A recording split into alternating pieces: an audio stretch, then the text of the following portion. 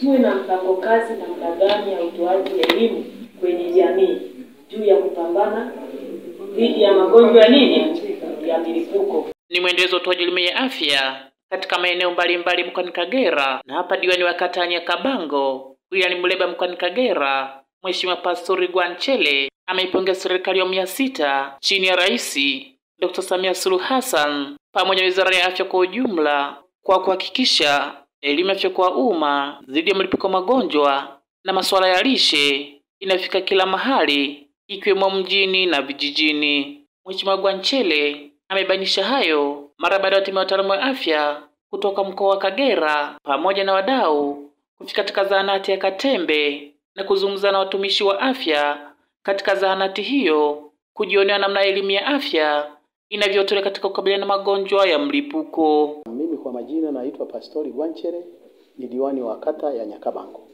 Kwa kweli, ndugu wataalamu, nawashukuru sana jinsi mnavyofanya jitihada ya kujikinga na magonjwa ya mlipuko.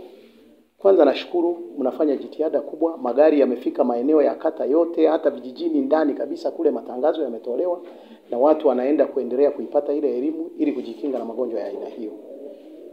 Na ninashukuru sana Wizara ya Afya kupitia kwa Umi Mwalimu, kwa kweli kazi kubwa sana inayofanyika tunaiona. Vile vile tunapeleka pongezi zetu kwa Mheshimiwa Rais Mama Dr. Samia Suluhu Hassan. Kwa kweli ni kazi nzuri inayofanyika, tunaona tunafuatilia hata kwenye taarifa za habari. Kwa kweli tunawashukuru sana wataalamu, muendelee kufanya jitihada hizo na sisi tubaki salama. Tukiangalia kwa sasa katika mkoa wetu wa Kagera, lipuko hilo lilitokea mkoa wa Kagera, lakini kwa sasa tuko salama. Mratibu elimu ya afya kwa umma mkoani Kagera, Zabron Segeru, anatumia fursa hiyo kuyasa jamii kuendelea kuchukua tahadhari dhidi ya magonjwa ya mlipuko. Kwa hiyo kimsingi zaidi tunasisitiza zaidi jamii kuendelea kuchukua tahadhari zaidi za haya magonjwa ya mlipuko. Kwa hiyo mimi niwashukuru tu eh, kwa hii kamati ya, ya serikali ya kijiji ya uongozi wa kijiji kwa namna ambavyo wanaendelea na mikakati mbalimbali ya utekelezaji wa majukumu yao vizuri, lakini pia wameelimika vizuri zaidi. Timu za halmashauri na mkoa zimefika, zimekuwa zikiwaelimisha. Kwa hiyo mimi kwa kweli nawapongeza kwa namna moja au nyingine.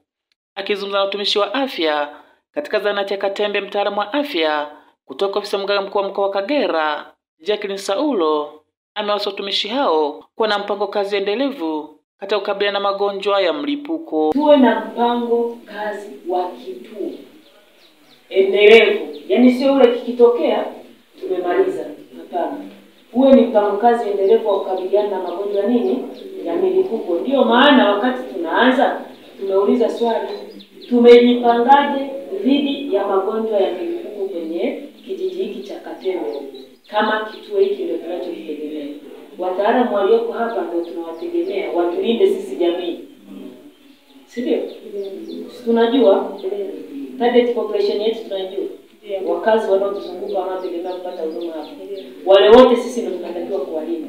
Afisa mkoa wa Kagera Joanita Jovin pamoja mratibu wa elimu ya afya halmashauri ya Mleba Grace Nkojelwa wanatumia fursa hiyo kuweka msisitizo zaidi kipaumbele cha elimu ya afya pindi huduma zinapotolewa. Ndio muda before hujaanza kutoa huduma, hakikisha unaachilia elimu, kwa sababu sema niwape huduma ili niwape elimu, jua hawatakusaidia za wataondoka. Lakini akijua kwamba nahitaji kupimwa, mjamzito nahitaji kupewa chanjo, mtoto wangu anahitaji kupimwa, alafu kuona nikaanza na nini, atakusikiliza kwa umakini ili umalize, apate kuipata ile huduma. Kwa hakikisheni mnafanya hizo watoto wanapokuja wamekusanyika wengi, siwaache hivi wale ndio watakwenda kuzisambaza huko kama kabla hamjafikia.